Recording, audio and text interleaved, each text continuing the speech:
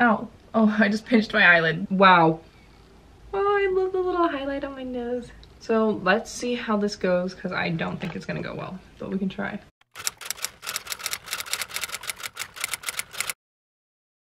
Hi friends, welcome back to another Mina Monday. This week's video is actually a get ready with me. So this is the final result, but I guess we're just gonna go right on into what I looked like at the beginning of the day and see how I got ready for my two year anniversary date with my boyfriend. But yeah, be sure to like, comment, and subscribe and let me know what you think down below. And I hope you enjoy this week's video. And yeah, I am not a makeup guru or beauty guru, but I will do my best to look decent and do makeup somewhat well. So let's just get right on into it. I'm starting off with my everyday moisturizer, more, mo moist, with my everyday lotion. Okay, my everyday face lotion. I can't say it correctly. So, so I'm doing. Um, usually I will put sunblock on, like when I'm going outside, but I won't be going outside except for when we're going out to dinner and it'll already be dark by then. So I am not going to be putting on sunblock on my face today. So if I'm being honest, I don't typically put on face makeup, or at least I haven't lately, but I think I'm going to use some of my Glossier Future Dew. I honestly haven't used this like in a long time since I bought it with my, and like showed it in my Glossier unboxing. Um, but I think I'll do that today. So now I'm going to be filling in my eyebrows. I use the Chanel um, eyeshadow palette and this is actually from my mom. So she used it before and you can see she used her favorite color. Um, but I used this brown right here to fill in my eyebrows with this brush. So we're gonna do that and then I also later on add in um, the Glossier Boy Brow to keep the shape. So I guess this is also be like a little bit of a chatty get ready with me. I'm not sure what to say. Basically, my boyfriend and I have been dating for two years and we both went to a camp over the summer between our junior and senior year of high school and that's when my boyfriend first kind of saw me because even though we were going to the same high school in like a kind of small town, it was still relatively big so we never saw each other. And then we finally got to, that's when he finally saw me, I guess. And he was like, oh my goodness, like he had a crush on me. And he wanted to talk with me, but he was too nervous to, so we never actually talked really. And then we ended up having AP statistics together our senior year of high school. And he finally started to work up the nerve to try and talk with me. So he asked our mutual friend to kind of help him get in contact with me. So our mutual friend, Josh, texted me one night when I was about to go to a concert. It was actually the night of homecoming, but one of my best friends, Callie, and I had decided that we wanted to go to this concert and we had decided that like in February. So during junior year. And usually our high school had homecoming on like Halloween weekend and it was usually on my other friend's birthday. So we all assumed it was going to be like the last weekend essentially of October. But for some reason that year our school decided to do homecoming the second to last week of October. And so because my friend Callie and I were banking on the concert being when homecoming wasn't going to be, um, we ended up missing homecoming. But that's okay because we still had a really fun night. But yeah, so that night Josh texted me and he said, hey, text these four guys. The bread has been split or the bread is spilt. Split? The bread is... Um, Luke and I still, Luke's my boyfriend, we still argue about this. I think it was like the bread has been split or something like that. I don't really know, but Josh told me to text Luke um, and then three other guys that like I kind of knew. And so I texted all of them that and they all ignored me because that's what Josh told them to do was to ignore my text. And then Luke responded to me and he said something, but I was at the concert. So I didn't say anything because I wasn't on my phone but like and i didn't like respond to him for like three or four hours because i was at the concert and i didn't really know what was going on and he had like responded somewhat late to my text. I like texted him but it was like late when i was done with the concert. And then he started texting me again the next morning and he just continued the conversation and we pretty much just talked from there.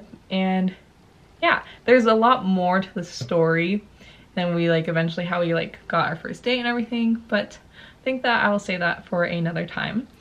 Now I'll be using the Cloud Paint from Glossier.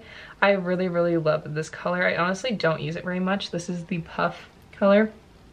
I'm very strange in that if I like something a lot, I don't want to use it. Does that make sense?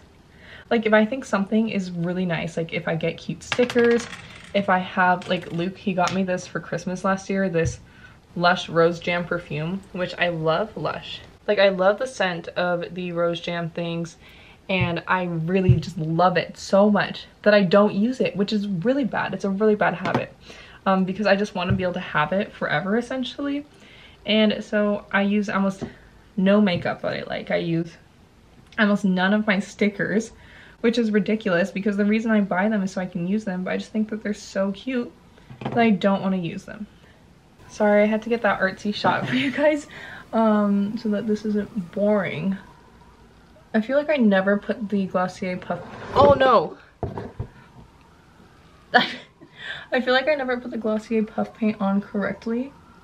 Um, like I feel like, oh, like it's too light and then I get, um, I don't know. I just feel like I never do it correct. Now I need to actually do the hard part, which is my eyes. I am so lazy about taking makeup off at night that I don't wear mascara anymore.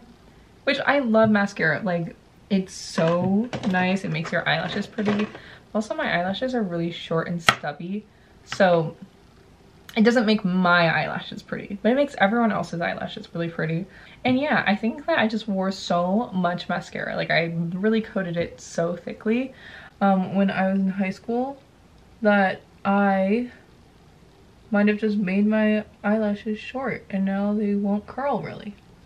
Um, so I'm gonna be wearing fake lashes essentially. Also, I know my posture is really bad, but my mirror is like down here.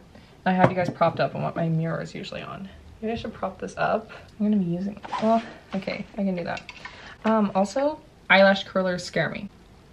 Because I've heard the horror stories of, ow, oh, I just pinched my eyelid. That's also why I don't like these. But because I've heard girls ripping out their like eyelashes and not just like a couple but like the whole thing and that really terrifies me because I don't have anything that I can spare so I honestly do all this as rarely as I can but I do love a good excuse to dress up there's probably no difference at all for you guys but I do see a little bit of a difference um oh I forgot I can just tilt this mirror up okay so my roommate, Izzy, actually had to teach me how to put on fake lashes because she is a queen at doing her makeup and her hair. Like, it's always amazing. Um, and so she actually made a video for me. So I'm probably not going to explain this very well. If you need help, watch her video. Um, I'll link it in the description because I don't know how to explain things like this and I'm not good at it, but she's very good at it. It's called How to Put on Fake Lashes for Mina. I think that's what it's called. So yes, sometimes I just also have to stop. I think I get too carried away when I'm trying to put on mascara that I'd mess it up. I think I just literally just need to be like one, two, stop. Because wait, that actually looks good. Also, question. My roommates and I have talked about this actually. Um, I think it's like when you do your mascara and when you do your eyebrows, do you switch hands or do you switch hands to do the left and the right side of your face or do you use the same hand? I always use my right hand no matter what. I just kind of change it. I feel like I don't have enough control over this hand, but my roommates, some of them will switch hands. So comment down below, which one are you? Do you switch or do you stick with the same one? Oh yeah, I also forgot to say I am using the Tarte Lights Camera and Action mascara. I should have done my eyeshadow first. That's what you're supposed to do. So this is like my one true eyeshadow palette. Okay, I know it's probably gross, I think I've literally had this since like sophomore year of high school. That's like four years, guys. But it's my tried and true. Like, she really just like, I remember I saw her at Ulta one day and I was like, I'm gonna get her. And I came back the next day because I take sometimes a long time to think about certain purchases and I got her and I still love her. I still use her. Um, it is the Don't Quit Your Daydream Tarte palette. I really liked Tarte. Um, I also don't know much about them. So if there's something I should know, please let me know. Um, but yeah, look at all these nude tones. Like that is so pretty. And there's some shimmer there. I don't know. I, I love it a lot. I'm first starting off by taking the Visionary and putting it on my, just on my um, lid. So that's this one right here, the semi-nude one. But I actually might do Strive more around the area because that's kind of the pink one. So it's this one right here. Um, it's kind of, it looks a little bit more red on camera, but it does come out a little bit more pink on the eyelid because I am kind of doing more of a pink look. But I don't want to go too intense because I am going for a more soft look. no. Oh no. Okay. Also, this is the Shine On. It's actually the highlighter part of the palette that I like to put on the inner corners of my eyes.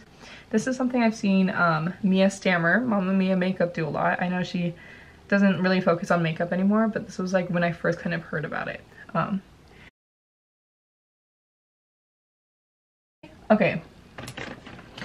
I know people do this. They okay, this is not the right one. I know that people will do like a crease kind of. So I think I will try and do that. Can you guys even see if I look like different or better with the makeup? Let's see. I'm gonna bring yours closer. So I'm going to use now, okay, I'll use some of the Love, which is right here. I'll use that to kind of do a crease. And if it isn't enough, then I might do one of the darker shades. I mean, sometimes I can't tell if there's actually a difference or not um, because it is so subtle. But that is what is I like. I don't want it to be intense because I don't know how to do it correctly if it's intense. And then I'm going to use the Shine On highlighter right here. I don't know if you guys can see that. Um, also in high school, I mean, I know my mom told me this, but I really did not listen to her. Wow. While she is popping. Um, I would just put thick layer foundation on my face. My skin wasn't that great. Um, and I was not confident about it. So I literally just went and did a thick layer of foundation. There's honestly no color in my face. Like, I didn't put highlighter. I put powder to set it, but like, Wow. Um, I didn't put blush, didn't put highlighter. Um, that is way too intense, isn't it? Wow, my face honestly looked flat. Like, I have my driver's license photo and it makes my face look like a pancake. Then I'm not even joking, like I look like a pancake because my face is just flat. And I had put on so much mascara. I used to honestly think like I was like naked if I wasn't wearing mascara. Like, which is crazy. Like, like why would I feel that way? Like, I am who I am and I look the way I look. It's okay not to always wear makeup. Like, and I would be like, I would, if I was running out of time, I'd do my mascara in the car or like on the bus, which is honestly dangerous. Like, what if I poked my eye, you know? I don't know. Um, my mom tried to help me. I wasn't listening, but I wish I did because maybe I could have helped myself a little bit. Honestly, if I had just watched more um, makeup videos, maybe I would have been a little bit better. I don't know. Oh, I love the little highlight on my nose. And actually, this is my roommate's eyeliner. She has, like, I guess she has a couple, so she said I could have this one for now. Thank you so much for saving me. She is my makeup goddess, essentially. She is my guardian angel when it comes to makeup. So this is the Maybelline Master Precise All Day. So let's see how this goes because I don't think it's going to go well, but we can try. Okay, I'm gonna clean that up. Um, sorry, I'm not gonna make you guys sit through this. So now that my eyeliner is very poorly done, but it's okay because it's going to be covered up, I am putting on the Duo eyelash glue on my eyelashes.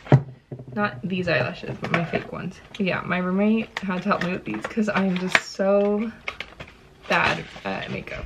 See, like she had to trim them because they're typically like this long. Can you see? Yeah. So we trimmed off a little bit of the length and we're gonna put them on.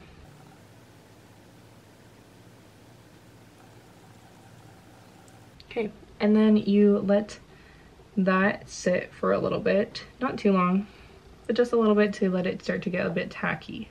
You wanna wiggle both of them around a little bit so that the glue doesn't get it to be all stiff.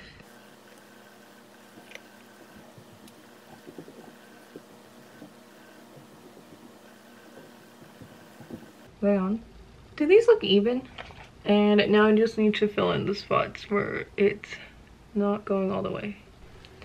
Okay, I finally did it, I think. I don't really feel like I look like myself, but I know, it's a fun look. Um, are these too intense? I don't know, I'm just not used to seeing myself with fake lashes. But now I am putting on the Glossier Cherry Balm Dotcom. I really like this because in the wintertime my lips get really chapped here. But this is perfect because it's like both a lip balm and tint.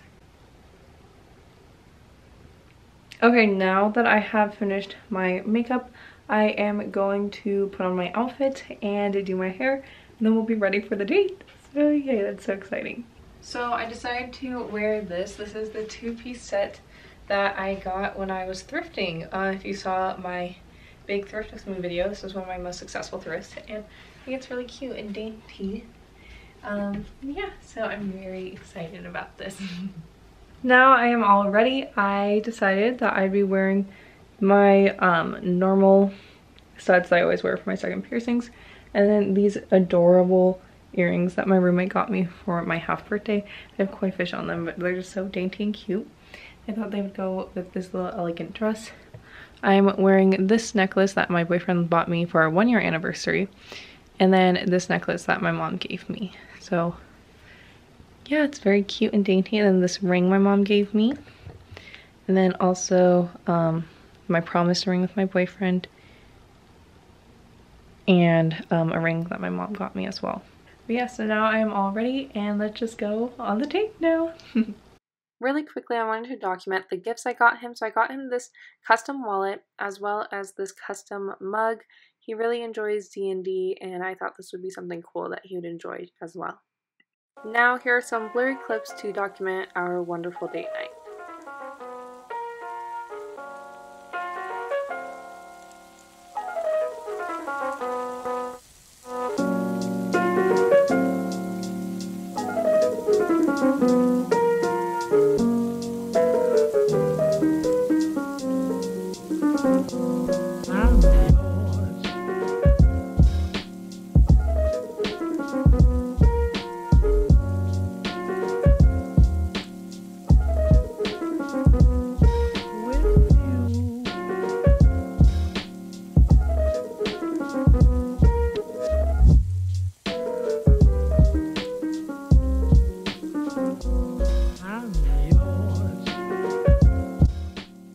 Thank you all so much for watching. I hope you have a wonderful rest of your week. Please be sure to let me know what else you'd like to see and if you enjoyed this video.